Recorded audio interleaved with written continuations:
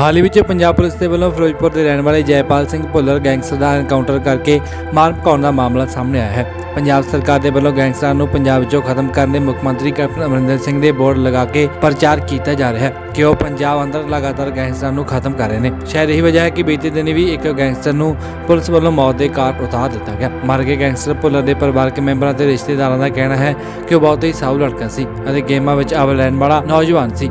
ਰਿਸ਼ਤੇਦਾਰਾਂ ਦਾ ਕਹਿਣਾ ਹੈ ਕਿ ਉਹ ਸੱਚ ਤੇ ਪੈਰਾ ਦੇਣ ਵਾਲਾ ਸੀ। ਪਰੰਤੂ ਮਾੜੇ ਹਾਲਾਤਾਂ ਨੇ ਕਦੋਂ ਉਸ ਨੂੰ ਕੁਰਾਹੇ ਪਾ ਦਿੱਤਾ, ਇਸ ਗੱਲ ਦੀ ਸਮਝ ਹੀ ਨਹੀਂ ਪੈਂਦੀ। ਦੂਜੇ ਪਾਸੇ ਇੱਕ ਬਜ਼ੁਰਗ ਸਿੱਖ ਨੇ ਅਸਲੀਅਤ ਦੀ ਕਹਾਣੀ ਬਿਆਨ ਕਰਦਿਆਂ ਦੱਸਿਆ ਕਿ ਉਹ ਸਾਡਾ ਨੌਜਵਾਨ ਨਿਰਪੱਖ ਅਤੇ ਸੱਚ ਤੇ ਪਹਿਰਾ ਦੇਣ ਵਾਲਾ ਨੌਜਵਾਨ ਸੀ। ਗੈਂਗਸਟਰ ਬਣਨ ਦਾ ਕਾਰਨ ਪੁੱਛੇ ਜਾਣ ਤੇ ਸਮੁੱਚਤਾ ਵਿੱਚ ਜਵਾਬ ਦਿੰਦਿਆਂ ਜਥੇਦਾਰ ਧਿਆਨ ਸਿੰਘ ਮਾਨ ਨੇ ਦੱਸਿਆ ਕਿ ਪੰਜਾਬ ਦੇ ਨੌਜਵਾਨ ਸਹੀ ਵਿਦਿਆ ਤੇ ਸਮੇਂ ਸਿਰ ਰੁਜ਼ਗਾਰ ਨਾ ਮਿਲਣ ਦੇ ਕਰਕੇ ਹੀ ਅਜਿਹੇ ਕੁਰਾਹੇ ਪੈ ਰਹੇ ਨੇ। ਉਹਨਾਂ ਕਿਹਾ ਕਿ ਚੜ੍ਹਦੀ ਉਮਰੇ ਨੌਜਵਾਨ ਨੂੰ ਸਾਂਭਣ ਅਤੇ ਉਹਨਾਂ ਦੀ ਸਿਹਤ ਵੱਲ ਖਿਆਲ ਰੱਖਣ ਦੀ ਮਾਪਿਆਂ ਅਤੇ ਸਰਕਾਰ ਦੀ ਮੁੱਖ ਜ਼ਿੰਮੇਵਾਰੀ ਹੁੰਦੀ ਹੈ। ਪਰੰਤੂ ਸਰਕਾਰਾਂ ਰੁਜ਼ਗਾਰ ਦੇਣ ਦੀ ਬਜਾਏ ਵੋਟਾਂ ਦੇ ਦਿਨਾਂ ਵਿੱਚ ਨੌਜਵਾਨਾਂ ਨੂੰ ਵਰਤਣ ਦੇ ਲਈ ਉਹਨਾਂ ਨੂੰ ਨਸ਼ੇ ਬਣਦੀ ਹੈ। ਇਸ ਦਾ ਮੁੱਖ ਕਾਰਨ ਹੈ ਕਿ ਸਰਕਾਰਾਂ ਆਪਣੀ ਜ਼ਿੰਮੇਵਾਰੀ ਤੋਂ ਭੱਜ ਰਹੀਆਂ ਨੇ।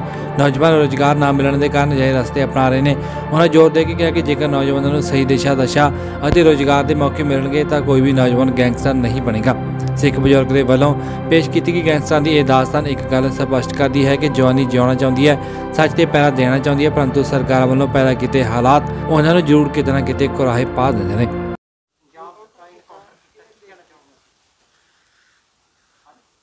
ਮੈਂ ਕੁਝ ਨਹੀਂ ਚਾਹੁੰਦਾ ਜੀ। ਤੁਹਾਡਾ ਲੜਕਾ ਸੀ? ਹਾਂ ਮੇਰਾ ਪੁੱਤ ਹੀਗਾ। ਕਿੰਨੀ ਉਮਰ ਸੀ? 35 ਕੁ ਸਾਲ ਸੀ। ਜਿਹੜਾ ਇਹ ਕੋਲ ਕੀਤਾ ਗਿਆ ਕਿਸ ਤਰ੍ਹਾਂ ਕੀਤਾ ਗਿਆ ਉਹ ਕੀ ਕਰਕੇ ਹੋ ਗਿਆ ਬੋਡੀ ਬਾਰੇ? ਕੋਈ ਪਤਾ ਨਹੀਂ ਮੈਂ ਕੱਲ ਦੀ ਬੇਹੋਸ਼ ਹਾਂ ਮੈਨੂੰ ਕੋਈ ਪਤਾ ਨਹੀਂ। ਕੀ ਖਿਡਾਰੀ? ਹਾਂ। ਹਾਂਜੀ। ਤੁਹਾਡੇ ਹਸਬੰਦ ਕੀ ਹੈ? ਪੰਜਾਬ ਪੁਲਿਸ ਚ ਇੰਸਪੈਕਟਰ ਤੇ ਇਹ ਕਦੋਂ ਦਾ ਗੈਂਗਸਟਰ ਬਣਾ ਕਦੋਂ ਦਾ ਉਹ ਗੈਂਗਸਟਰ ਬਣਿਆ ਨਹੀਂ ਬਣਾਇਆ ਗਿਆ ਬਣਾਇਆ ਹੈ ਗਿਆ ਕਿਸ ਵਜ੍ਹਾ ਕਰਕੇ ਬਣਾਇਆ? ਗਿਆ ਕੀ ਮਜਬੂਰੀ ਬਣ ਗਈ ਸੀ। ਗੇਮ ਕਰਦਾ ਹੀ ਉੱਥੋਂ ਮੁੰਡਾ ਕੋਈ ਰਲ ਗਿਆ ਜਿਹੜਾ ਇਹ ਪਾਸੇ ਲੈ ਗਿਆ ਇਹਨੂੰ। ਇਹ ਗੋਲਾ ਸੁੱਟਦਾ ਸੀਗਾ। ਕੋਈ ਮਤਲਬ ਦੋਸਤ ਸੀਗਾ ਜਿਹਨੇ ਦੋਸਤ ਹਾਂ। ਬਣਾਇਆ? ਤੁਹਾਡਾ ਕੀ ਕਹਿਣਾ? ਮੈਨੂੰ ਕੁਝ ਨਹੀਂ ਪਤਾ।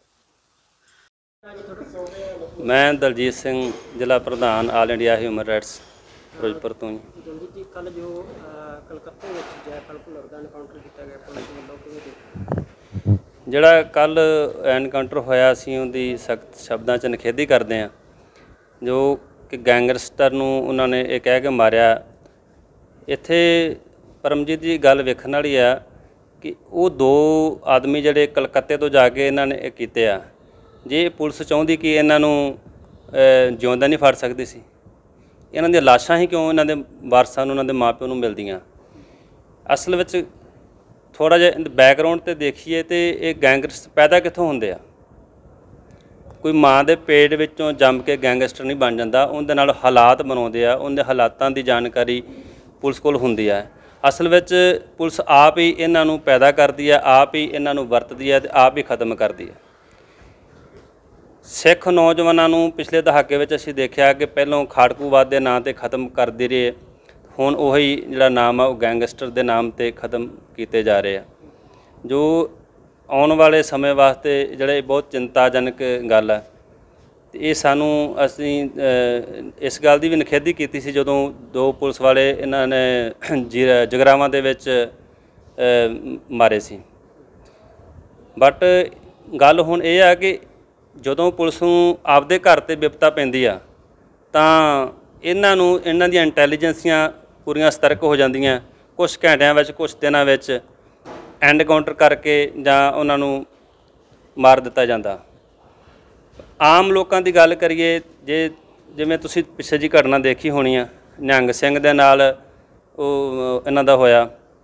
ਤੇ ਇਹਨਾਂ ਦੀ ਜਿਹੜੀਆਂ ਹੈਗੀਆਂ ਮਿੰਟੋ ਮਿੰਟੀ ਆਪਦਾ ਜਦੋਂ ਗੱਲ ਆਉਂਦੀ ਹੈ ਤਾਂ ਇਹਨਾਂ ਨੂੰ ਇਨਸਾਫ ਲੈਣ ਵਾਸਤੇ ਇਹ ਹਰ ਹਰ ਹਿੱਲਾ ਵਰਤਦੇ ਆ। ਪਰ ਆਮ ਪਬਲਿਕ ਨੂੰ ਇਨਸਾਫ ਕਿਤੇ ਨਹੀਂ। ਗੁਰੂ ਗ੍ਰੰਥ ਸਾਹਿਬ ਦੀ ਬੇਅਦਬੀ ਹੋਈ, ਉਹਨਾਂ ਵਾਸਤੇ ਇੰਟੈਲੀਜੈਂਸੀਆਂ ਕਿੱਥੇ ਸੀ, ਜੋ ਇਨਸਾਫ ਅੱਜ ਤੱਕ ਨਹੀਂ ਮਿਲਿਆ ਗਿਆ। ਸਮੇਤ ਸੈਣੀ ਨੂੰ ਕਹਿੰਦੇ ਜੀ, ਸਾਨੂੰ ਪਤਾ ਨਹੀਂ ਕਿੱਥੇ ਆ, ਕਿੱਥੇ ਲੋਕ ਗਿਆ ਉਹਨਾਂ ਵਾਰੀ ਇਹਨਾਂ ਨੂੰ ਇਹ ਲੱਭ ਨਹੀਂ ਸਕਦੇ। ਜਦੋਂ ਇਹ ਗੈਂਗਸਟਰਾਂ ਦੀ, ਇਹਨਾਂ ਦੀ ਗੱਲ, ਨੌਜਵਾਨਾਂ ਦੀ ਗੱਲ ਆਉਂਦੀ ਆ, ਪੰਜਾਬ ਦੇ ਨੌਜਵਾਨਾਂ ਦੀ, ਅਸੀਂ ਇਹ ਨਹੀਂ ਕਹਿੰਦੇ ਕਿ ਕੋਈ ਇੱਕ ਚੰਗਾ ਸੀ ਜਾਂ ਉਹਨੇ ਚੰਗਾ ਕੰਮ ਕੀਤਾ। ਹੁਣ ਗੱਲ ਹੈ ਕਿ ਉਹਨੂੰ ਜਿਉਂਦਾ ਫੜਿਆ ਜਾ ਸਕਦਾ ਸੀ। ਸਿਰਫ ਦੋ ਦੋ ਪਿਸਤੌਲ ਜਿਹੜੇ ਇਹਨਾਂ ਨੇ ਵਿਖਾਏ, ਉਹਦੇ ਕੋਲ ਬਰਾਮਦ ਹੋਇਆ ਜਿੰਦੀ ਮਾਰ ਵੱਧ ਤੋਂ ਵੱਧ ਜਿਹੜੀ 100 ਮੀਟਰ ਤੱਕ ਹੁੰਦੀ ਆ। ਉਸ ਬਿਲਡਿੰਗ ਨੂੰ ਘੇਰਾ ਪਾਇਆ ਜਾ ਸਕਦਾ ਸੀ, ਉਹਨਾਂ ਨੂੰ ਜਿਉਂਦੇ ਫੜਿਆ ਜਾ ਸਕਦਾ ਸੀ। ਅੱਗੇ ਜੋ ਕਾਨੂੰਨ ਨੇ ਕਾਰਵਾਈ ਕਰਨੀ ਜਾਂ ਅਦਾਲਤਾਂ ਨੇ ਕਰਨੀ ਆ, ਉਹ, ਉਹ- ਅਗਲੀ ਪ੍ਰਕਿਰਿਆ। ਇਸ ਕਰਕੇ ਅਸੀਂ ਇਹਨਾਂ ਦੀ, ਇਸ ਪੁਲਿਸ ਦੀ ਨਿਖੇਧੀ ਕਰਦੇ ਹਾਂ ਕਿ ਇਹ ਜੋ ਘਟਨਾਕ੍ਰਮ ਇਹਨਾਂ ਨੇ ਕੀਤਾ ਜਾਣ ਬੁੱਝ ਕੇ ਕੀਤਾ, ਇੱਕ ਸਾਜ਼ਿਸ਼ ਦੇ ਤਹਿਤ ਕੀਤਾ ਗਿਆ। ਕਾਰਨ ਕੀ ਸਮਝਦੇ ਹੋ ਜਿਹੜੀ ਨੌਜਵਾਨ ਪੀੜ੍ਹੀ ਇਸ ਵਾਸਤੇ ਕਾਰਨ ਅਸੀਂ ਤਾਂ ਮੇਨ ਇਹ ਸਮਝਦੇ ਹਾਂ ਕਿ ਇਹਨਾਂ ਨੇ ਜਦੋਂ ਆਪਦੇ, ਇਹਨਾਂ ਦੇ ਆਪਦੇ ਮਰੇ ਆ, ਪੁਲਿਸ ਵਾਲੇ ਜੋ ਮਾਰੇ ਗਏ ਆ, ਉਹਨਾਂ ਦੇ ਕਰਕੇ ਇਹ ਇਹ ਜ਼ਿਆਦਾ ਹੋਇਆ। ਉਸ ਤੋਂ ਪਹਿਲਾਂ ਵੀ ਤੁਸੀਂ ਦੇਖੋ ਉਹਨਾਂ ਨੇ ਜਿਹੜੀਆਂ ਫਰੋਤੀਆਂ ਲਈਆਂ ਜਾਂ ਹੋਰ ਵੀ ਕੋਈ ਕਤਲ ਕੀਤੇ ਹੋਣਗੇ। ਉਹਨਾਂ ਦੀਆਂ ਵੀ ਐਫ ਆਈਆਂ ਇਹਨਾਂ ਕੋਲ ਪਈਆਂ ਐਫ ਆਈਆਂ ਜਾਂ ਜਿਨ੍ਹਾਂ ਨੇ ਇਹਨਾਂ ਨੂੰ ਦਿੱਤੀਆਂ ਹੋਈਆਂ ਲਿਖਤੀ ਰੂਪ ਦੇ ਵਿੱਚ ਸ਼ਿਕਾਇਤਾਂ ਆਈਆਂ, ਉਹ, ਉਦੋਂ ਸਤਰਕ ਕਿਉਂ ਨਹੀਂ ਹੋਈ ਪੁਲਿਸ? ਫਿਰੋਜ਼ਪੁਰ ਦੇ ਵਿੱਚ ਰਹਿੰਦਾ ਰਿਹਾ, ਪਹਿਲੋਂ ਵੀ ਜੇਲ੍ਹ ਕੱਟੀ ਆ ਉਹਨੇ। ਇਹ ਤੁਹਾਨੂੰ ਦੱਸਿਆ ਜਿਵੇਂ ਜਿਹੜੇ ਰਾਜਨੀਤਿਕ ਲੋਕ ਜਾਂ ਪੁਲਿਸ ਆਪ ਹੀ ਇਹਨਾਂ ਨੂੰ ਪੈਦਾ ਕਰਦੀ ਹੈ ਆਪ ਹੀ ਵਰਤਦੀ ਹੈ ਤੇ ਆਪ ਹੀ ਖਤਮ ਕਰ ਦਿੰਦੀ ਹੈ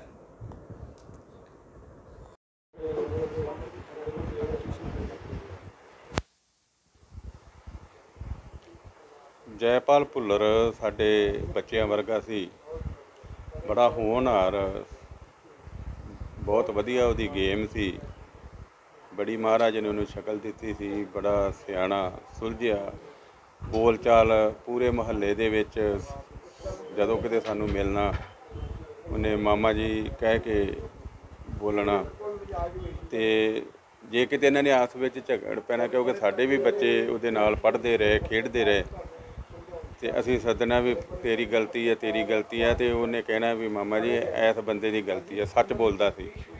ਬਹੁਤ ਵਧੀਆ ਸੀਗਾ, ਪਰ ਪਤਾ ਨਹੀਂ ਗਲਤ ਰਸਤੇ ਕਿਵੇਂ ਪੈ ਗਿਆ। ਜੇ ਉਹਨਾਂ ਦੇ ਪਿਤਾ ਦੀ ਗੱਲ ਕਰੀਏ, ਸਰਦਾਰ ਭੁਪਿੰਦਰ ਸਿੰਘ ਦੀ ਪੁਲਿਸ ਦੇ ਵਿੱਚ ਉਹਨਾਂ ਨੇ ਸਰਵਿਸ ਕੀਤੀ ਐਜ ਇਨਸਪੈਕਟਰ ਪਰ ਜਦੋਂ ਉਹ ਸਰਵਿਸ ਦੇ ਵਿੱਚ ਵੀ ਸੀ, ਜਿੱਥੇ ਉਹਨਾਂ ਨੇ ਸੇਵਾ ਕੀਤੀ, ਉੱਥੇ ਉਹਨਾਂ ਦਾ ਮਹੱਲੇ ਵਾਲਿਆਂ ਨਾਲ ਜਿਹੜਾ ਤਾਲਮੇਲ ਮੋ- ਮੇਲ ਜੋਲ ਜਿਹੜਾ ਉਹ ਆਮ ਸੀਗਾ, ਜਿਵੇਂ ਆਪਾਂ ਆਮ ਪਰਿਵਾਰ ਦੇ ਵਿੱਚ ਰਹਿੰਦੇ ਆ ਤੇ ਕਦੀ ਵੀ ਕੋਈ ਇਸ ਪਰਿਵਾਰ ਦੀ ਜਿਵੇਂ ਬਹੁਤ ਪੜ੍ਹਿਆ ਲਿਖਿਆ ਪਰਿਵਾਰ ਆਪਾਂ ਕਹਾਂਗੇ, ਇੱਕ ਜੈਪਾਲ ਦਾ ਛੋਟਾ ਭਰਾ, ਸਾਰੇ ਵੀ ਕੋਈ, ਹਾਂ, ਬਹੁਤ ਵਧੀਆ ਪਰਿਵਾਰ ਸੀ ਜੀ, ਕੋਈ ਆਪਾਂ ਐ ਨਹੀਂ ਕਹਿ ਸਕਦੇ ਵੀ ਹਾਂ, ਵੀ ਇਸ ਪਰਿਵਾਰ ਤੋਂ ਕੋਈ ਮਹੱਲੇ ਵਾਲੇ ਦੁਖੀ ਸੀ ਜਾਂ ਕੋਈ ਹੋਰ ਬੰਦਾ ਦੁਖੀ ਸੀ ਕੁਝ ਕੋਈ ਵੀ ਬੰਦਾ ਕੁਝ ਨਹੀਂ ਕਹਿ ਸਕਦਾ।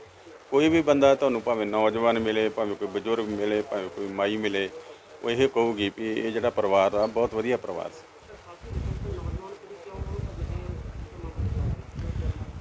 ਜਦੋਂ ਸਰਕਾਰ ਨੌਜਵਾਨਾਂ ਨੂੰ ਵਿੱਦਿਆ ਨਹੀਂ ਦੇਊਗੀ, ਰੁਜ਼ਗਾਰ ਨਹੀਂ ਦੇਊਗੀ, ਉਹਨਾਂ ਦੀ ਸਾਂਭ ਸੰਭਾਲ ਨਹੀਂ ਕਰੂਗੀ, ਤੇ ਫਿਰ ਇਹੋ ਜੀਆਂ ਗੱਲਾਂ ਹੋਣੀਆਂ ਸੁਭਾਵਿਕ ਹੁੰਦੀਆਂ ਨੇ। ਅੱਜ ਤੁਸੀਂ ਦੇਖਦੇ ਹੋ ਕਿ ਪੰਜਾਬ ਦੇ ਵਿੱਚ ਰੋਜ਼ਗਾਰ ਨਾ ਹੋਣ ਕਰਕੇ, ਵਿੱਦਿਆ ਨਾ ਹੋਣ ਕਰਕੇ ਜਿਹੜੇ ਸਾਡੇ ਬੱਚੇ ਤੇ ਬੱਚੀਆਂ ਨੇ, ਉਹ ਪਲੱਸ 2 ਪੜ੍ਹ ਕੇ ਤੇ ਉਹਨਾਂ ਦਾ ਭਾਵੇਂ ਉਹ ਕਿਸੇ ਵੀ ਕਮਿਊਨਿਟੀ ਦੇ ਨਾਲ ਸੰਬੰਧਿਤ ਨੇ, ਹਿੰਦੂ ਨੇ, ਮੁਸਲਮਾਨ, ਸਿੱਖ ਇਸਾਈ ਜੋ ਵੀ ਨੇ, ਉਹ ਵਿਦੇਸ਼ਾਂ ਵੱਲ ਉਹਨਾਂ ਦੀ ਦੌੜ ਲੱਗ ਗਈ ਹੈ।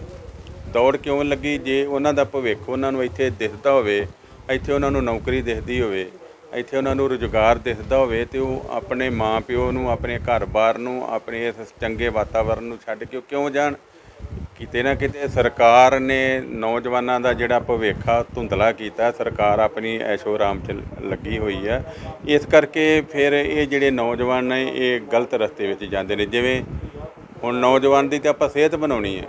ਤੁਸੀਂ ਨੌਜਵਾਨ ਨੂੰ ਇਲੈਕਸ਼ਨਾਂ ਦੇ ਵਿੱਚ ਨਸ਼ੇ ਪਿਆ ਪਿਆ ਕੇ ਜਾਂ ਚਿੱਟੇ ਵਰਗੀਆਂ ਜਿਹੜੀਆਂ ਇਹ ਇਹ ਘਾਤਕ ਨਸ਼ੇ ਨੇ, ਤੁਸੀਂ ਇਹ ਲਿਆ ਕੇ ਪੰਜਾਬ ਦੇ ਵਿੱਚ ਸੁੱਟ ਦਿਓਗੇ।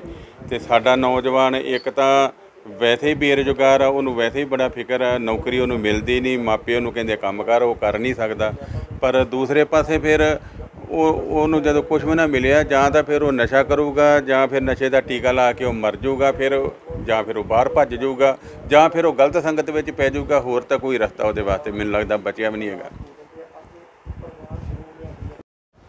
ਮੇਰਾ ਸੰਦੀਪ ਸਿੰਘ। ਨਹੀਂ ਮੈਂ ਅੰਮ੍ਰਿਤਸਰ ਤੋਂ। ਹਾਂਜੀ। ਮੇਰੇ ਮਾਮਾ ਜੀ ਦਾ ਬੇਟਾ ਜੀ। ਮਾਮਾ ਜੀ ਦਾ ਬੇਟਾ ਮੇਰੇ।